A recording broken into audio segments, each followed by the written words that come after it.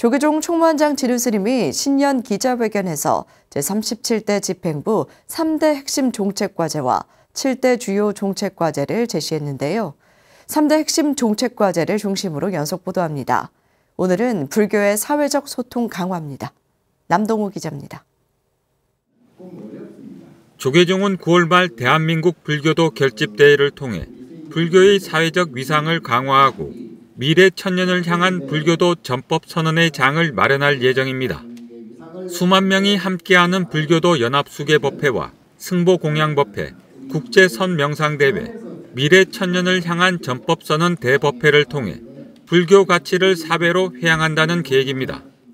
불교도 결집 대회는 대한민국의 안녕과 남북의 긴장 완화, 나아가 세계 평화를 염원하며 실천을 다짐하는 국가적 큰 서원의 장이 될 것입니다. 9월 27일부터 10월 1일까지 5일간 진행되는 마음의 평화 행복의 길 국제 선명상 대회도 소통 강화를 위한 방편입니다. 마음을 치유하는 수행인 선명상을 바탕으로 심신의 건강에 기여하는 프로그램을 소개하고 동참을 이끌어냅니다. 지역과 성별, 계층과 세대를 아우를 수 있는 축제로 구성해서 향후 선명상의 대중화와 세계화에 기여한다는 것. 이를 위해 국내외 명상 전문가를 초청해 주요 지역별로 선명상 체험 행사를 진행할 방침입니다.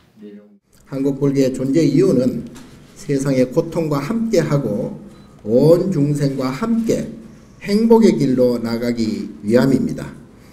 2024년 한국 불교는 국민의 정신 건강을 지키고 마음의 평화를 이루는 사회적 정진을 시작합니다.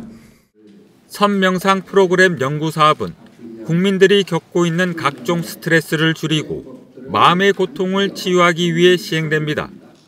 건립 예정인 가칭 선명상 중앙지원센터와 연계 운영해 종단을 대표하는 선명상 프로그램을 널리 보급합니다.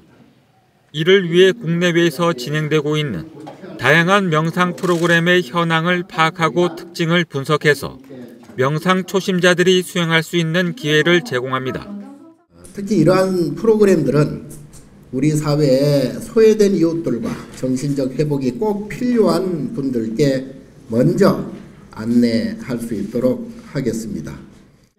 선명상 프로그램 개발에 따른 보급 방안으로 선명상 템플스테이 프로그램 운영을 합니다.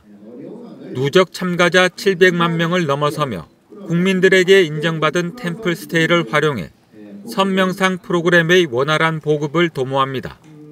템플스테이 지도법사를 대상으로 선명상 프로그램 운영 역량 강화 교육을 시행하고 선명상 템플스테이 특화 사찰을 지정하고 운영하며 선명상 프로그램 맞춤형 안내 시스템을 구축할 계획입니다. 동시에 템플스테이 홈페이지와 전용 안내 전화를 개설하는 등 맞춤형 안내 시스템을 구축하고 또 전문 지도법사를 양성하여 더 많은 국민들이 마음의 평안을 찾을 수 있도록 확대해 나갈 계획입니다.